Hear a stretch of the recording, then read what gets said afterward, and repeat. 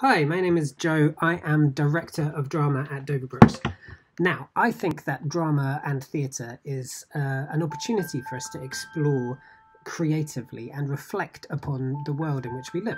So, if you choose to take drama as an A level, you will have the opportunity to do this in lots of different ways from devising your own pieces from scratch uh, to uh, being directed in a piece by your teachers, as well as interpreting classic text for performance through uh, the work towards the written exam. We have a really practical focus uh, in the subject, and we like to change things up every year depending on the needs and desires of our cohort.